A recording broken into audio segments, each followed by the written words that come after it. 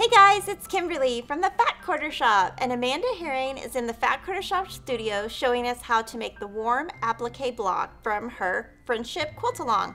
She's going to be showing two methods of applique right now. She's going to show us the freezer paper method and the Pellon method. So let's get started. Let's talk about the supplies you're going to need to make the warm block.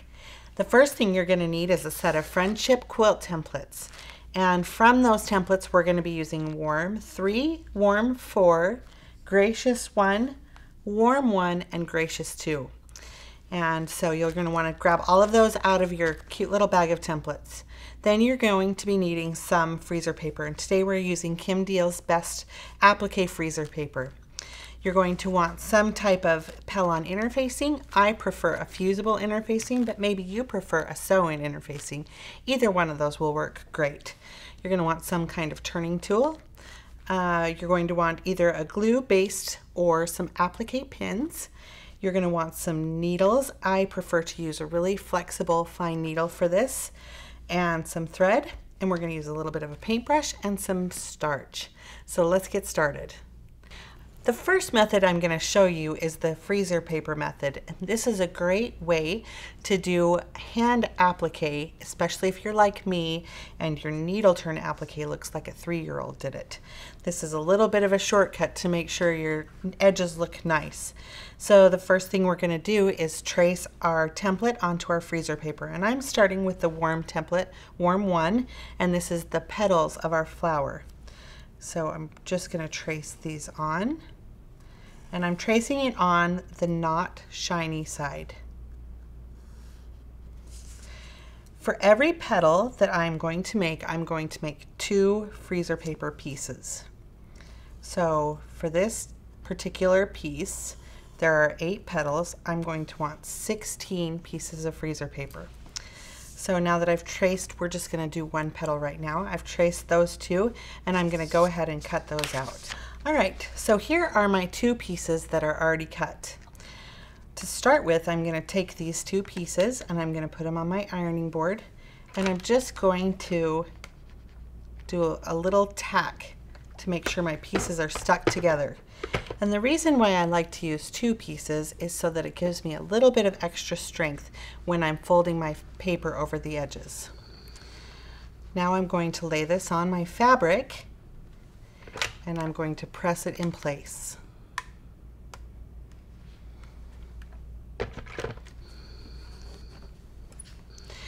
When you're working with the freezer paper, it's not uncommon for it to come loose. And it's okay if that happens. Don't worry about it. You can just re-adhere re it on using your iron.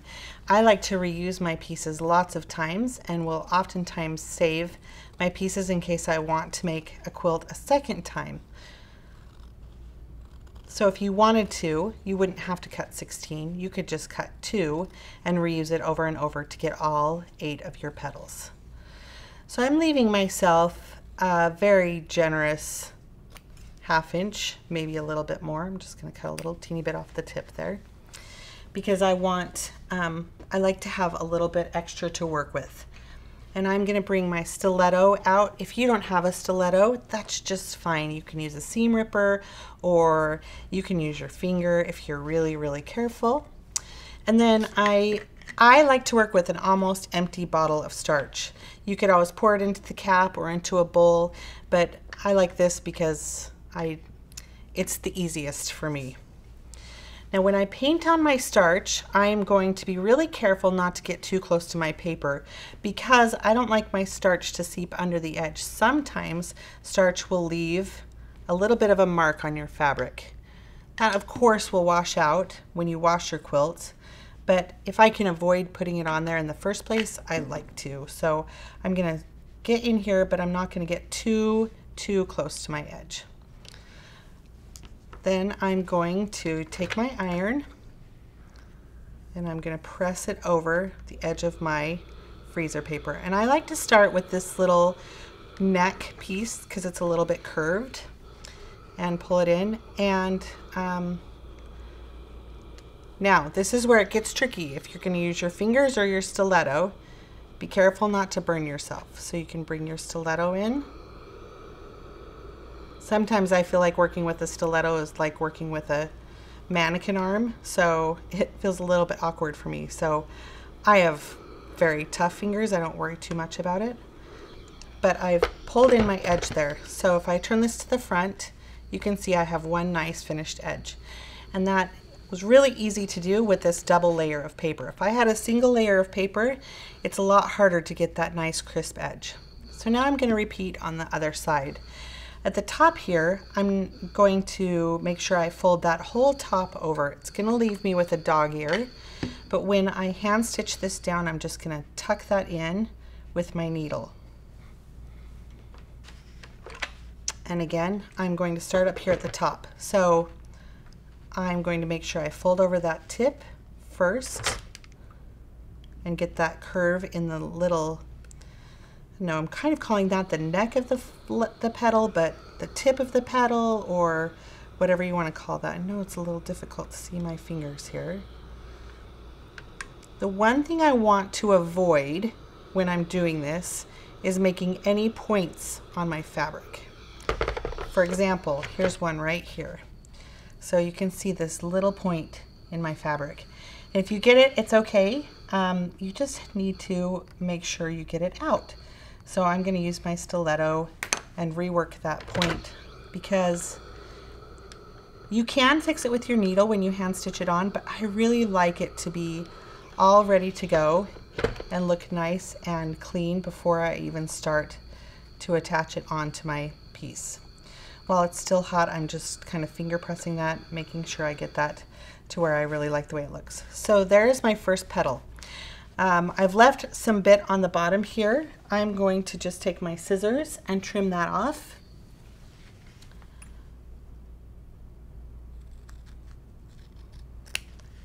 Now, before I pop my paper out, I want to make sure that this piece is completely cool to the touch, that it has no warmth in it. Um, I like to really hold its shape. And if you wait till it's really cool, that's gonna just do a little bit of extra insurance. Then I'm just gonna pop it out.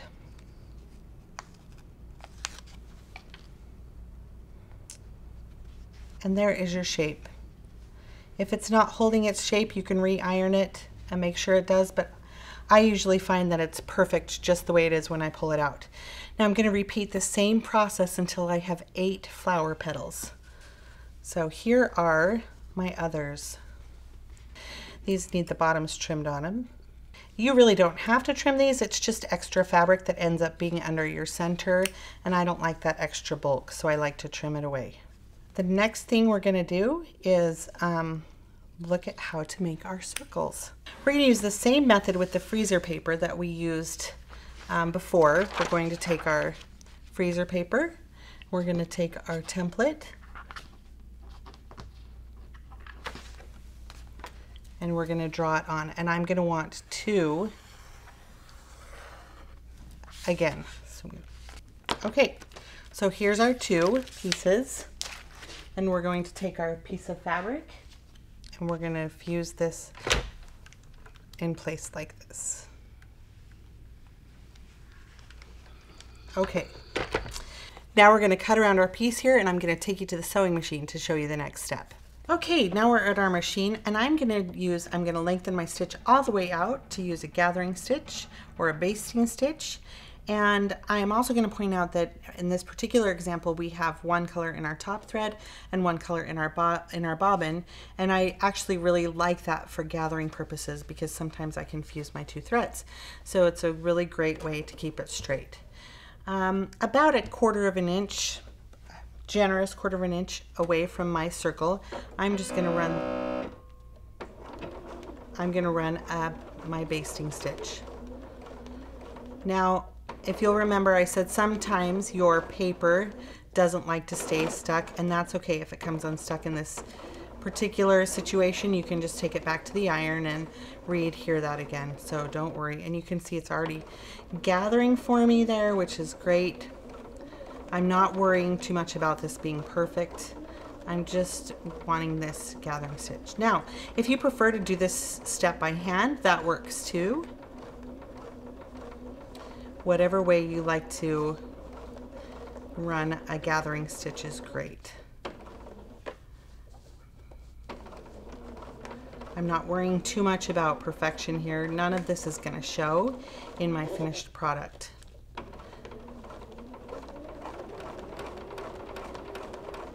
And then at the end, I'm just going to make sure that I overlap my stitches by a few so that I get it gathered all the way around. Um, I'm going to pull out my thread a little bit before I cut it so that I have a nice long tail. You can see that it's already gathering here. I'm just going to continue to gather that. So let's take this to the ironing board where I'll show you how to finish it up. So this is what my circle looked like right as it came off the sewing machine. Yours might not have gathered so much and that's okay. What we're going to want to do is find two threads either on the bottom or the top. Make sure that they're both on the same side and continue gathering it until it's nice and tight around the circle. This is where I always break my thread and it's a giant pain. So be careful not to break your thread, but you want to get this nice and tight. Once you have it tight, hold on to those threads. And then we're going to bring in our iron and we're going to make sure we're working from the outside in to the center of the circle. And I'm being sure to keep my threads taut here so that I don't lose tension as I'm ironing. If you want to be super secure, you can put some starch on here too. Um, I don't really usually need it. It works out pretty good. And I'm just going to hit it from the front too and make sure I've got a nice crease around that outside edge. And then just like before, we're going to want to make sure that's nice and cool before we pop the papers out. While we're waiting for that to cool, I'm just going to show you. I've already completed this step on all three of the circles that we're use, going to use on this block. The white circle, the blue medallion, and then on this teeny tiny little circle. And the trick with this little circle is the same thing that I just showed you with your tension. Because when, when you have to reach in there to pop out that um, piece of paper, couldn't remember what that word was, it's going to loosen up your circle. So once you've pulled it out, you can use your strings to retighten that back down and get a nice cute little dot. This is also a great place if you're feeling intimidated by this tiny little piece that you can pop in a piece of wool. And we'll talk about that a little bit later on. Now that my piece is cool, I'm safe to come in here and pop out my piece of paper. I'm going to want to disturb the outside as little as possible. So I'm just slowly pulling this out want to keep that edge intact as much as possible as I remove this piece of wax paper. And there we go. And I can just touch that up if I feel like it needs a little bit of extra touch up. And there is a nice perfect circle all ready to go. I'm going to leave my strings and I'm not going to cut them until just before I'm ready to iron it on, just in case I need to go back and pull that string one more time. The next step is we're going to make this cute little flower, and this is using the Gracious One template.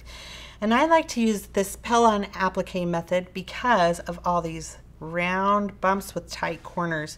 It's a little bit tricky to do it a lot of other ways. So I like to use this one to get those curves nice and straight or nice and curvy as the case may be.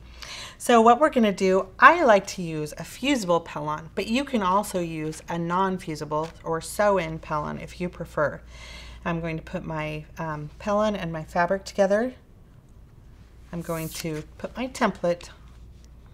You could always put your Pellon on right after this step, but um, the next thing you're going to do is using a water-soluble pen or um, I like to use water soluble on white. If you're working with a darker fabric, you have a lot more flexibility. You could use a pencil. And I'm just carefully tracing around my template here. And then I can pull that off. Now, I'm going to take this to the sewing machine, but I'm going to want to make sure, first of all, that I'm sewing with my dot side facing the right side of my fabric. So we're putting um, the fusible side together with the right side. That means that when we turn this right side out, our fusible side will be on the outside and the right side of our fabric will be on the outside. So take this to your sewing machine and stitch around it. You can see I've already completed that step right here and I've just gone over my stitching at the end to make sure that it's backstitched and it's not going to come undone and I've been very careful when I hit each of these points to make sure that I only hit the points once and I don't have a double stitch there. The next thing that we're going to do once it's sewn, you can see I've already started, is cut out. When you're working with curves like this, I find that for me at least, it works better if I have a smaller seam allowance. It creates less bulk on the inside of or on the outside of my curves and it makes it a little bit easier when I go into these points. So I'm just cutting this and I'm going to leave enough so that I it doesn't my sewing doesn't pull out when I turn it but small enough that I'm not going to see a ton of that bulk in the seam when it's all done. I like these processes that take a little bit of time that take a little bit of detail. These are my favorite ones to sit down, do them all in a set, and then sit with a good movie and prepare all my pieces so that I'm ready to sew. The next thing I need to do is clip into every single one of these points to make sure that they turn nicely. So you're going to clip two, but not through your seam.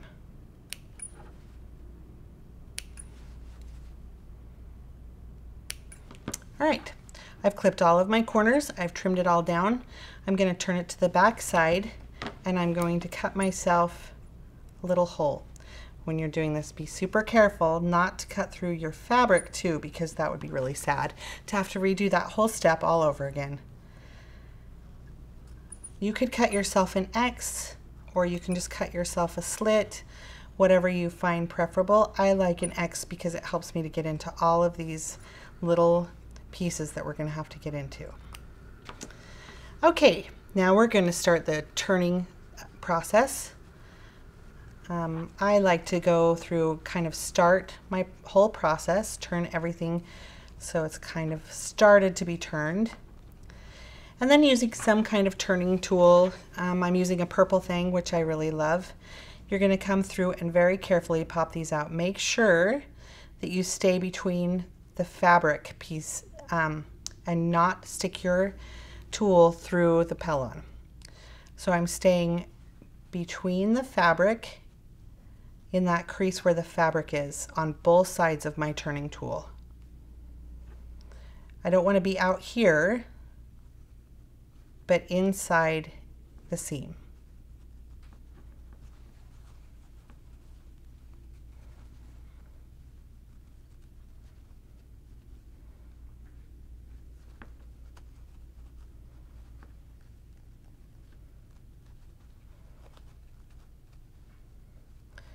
Once we get this all the way turned, then we're going to do some finger pressing just to make sure that we have nice rounded curves. Because we've used, because I have used, you might not like to use the fusible, but because I have used the fusible, I wait to do any ironing until I'm ready to stick my pieces together. So I like to do this whole part by hand.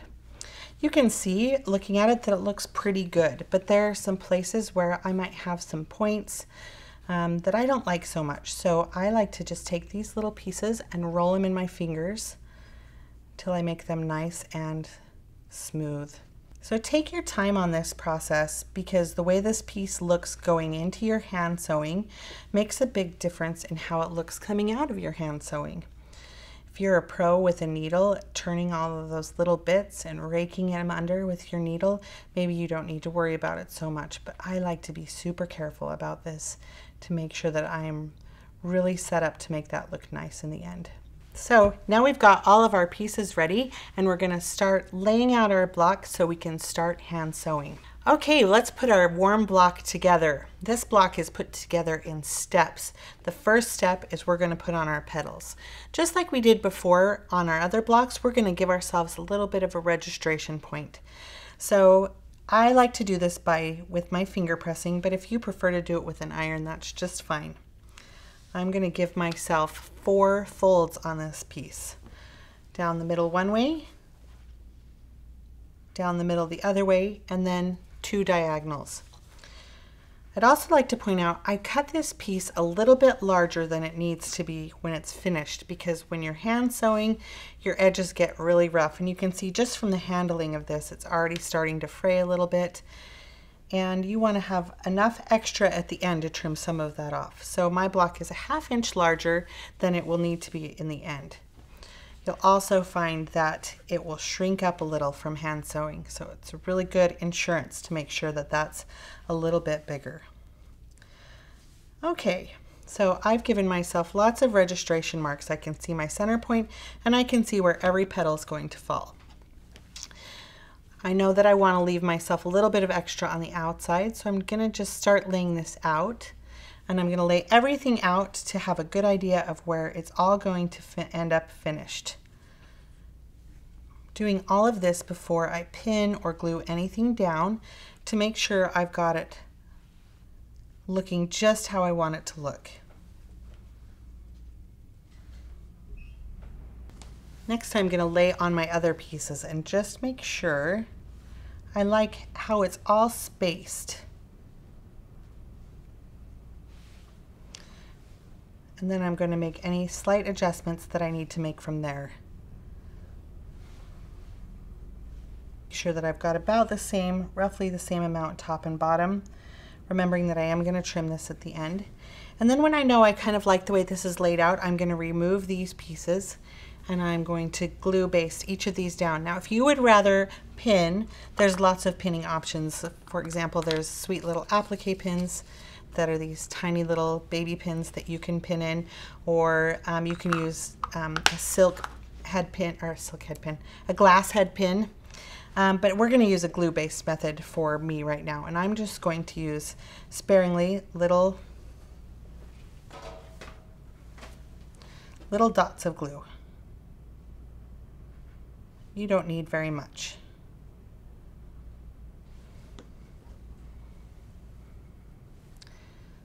The one place I always avoid putting my glue is on the very tip because we're going to need to turn that little dog ear underneath.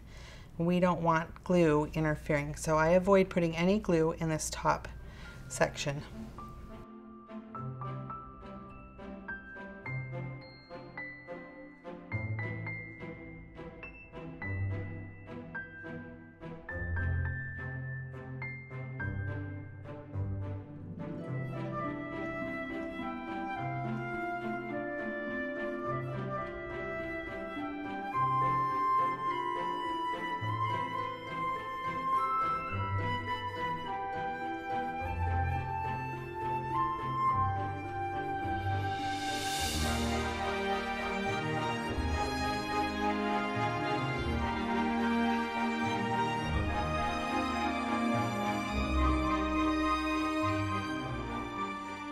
The next thing we're going to do is work on hand sewing some of these petals down. I'm using my favorite thread, which is Aurifil thread, and we'll have a delightful thread collection available through Fat Quarter Shop as well that matches your fabrics perfectly. I have threaded a needle and I like a thin flexible needle to do this with and we've put a knot in the end. Um, I am not the perfect at this. And so I say that not because I'm making excuses, but because I want you to know that you can try and do anything you want to do. Don't be afraid of trying any of these techniques that we're showing you because you might learn and try something you really love to do. So to start with, I'm coming in through the back of my fabric and through the edge of my petal, and I'm coming in just underneath the edge of my fold. Okay, so we've brought it up through our, our petal and now I'm going to go in underneath, just barely underneath the petal. And in the same stitch, I'm gonna come back through my petal again. All that matters is that I'm catching a few threads on this and hiding my thread as much as possible. So again, I'm gonna go in underneath the petal, just barely. I don't wanna come in way underneath, just barely underneath the petal and through the petal at the same time.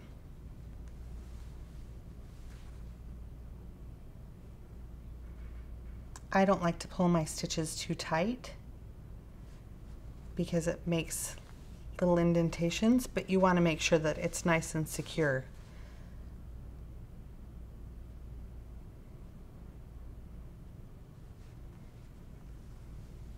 You can say, see that I'm not taking tiny little stitches, but you also want to make sure your stitches aren't too big.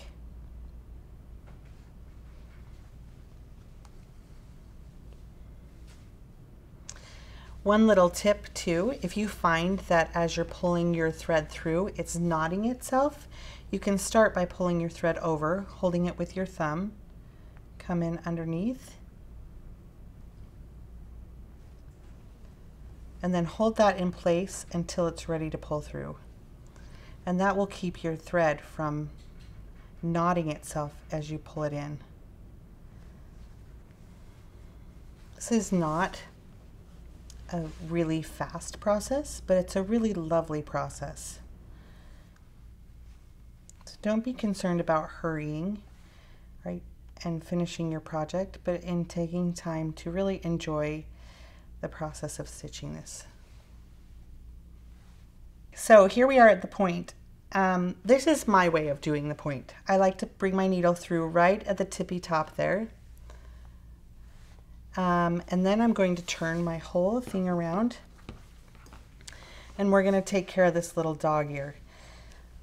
Sometimes these are a little bit big, but I don't, you can trim them, but be really careful when you trim them because then if you trim them too short, you're dealing with little threads poking out. But we do have to fit a lot of bulk into this point, and we're going to do this by raking with our needle and basically stuffing this fabric underneath. And if you get it stuffed in here and you feel like, oh my goodness, that is so much fabric in there, then maybe you do want to pull some out and trim down your dog ear just a little bit. I'm pretty happy with the way that that one went under, so I'm just going to continue. I'm going to drop my needle back down right at that point, and then I'm going to take the tiniest little stitch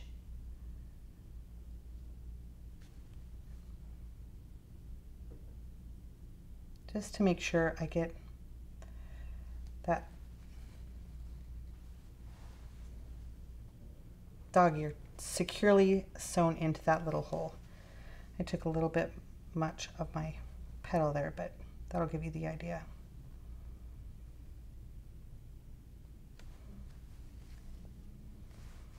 So now I've got my dog ear trapped in there and it's not going to come out.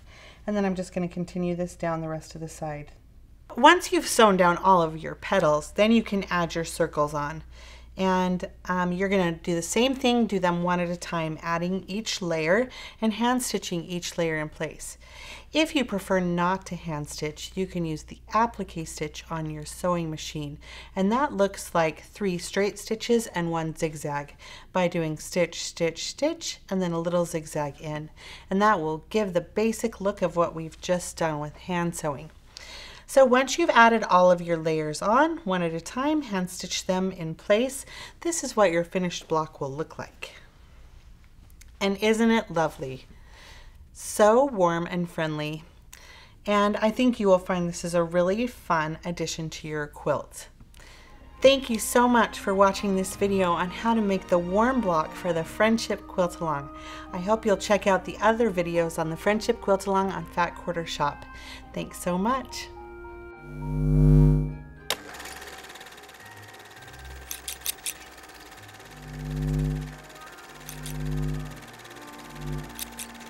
Thank mm -hmm. you.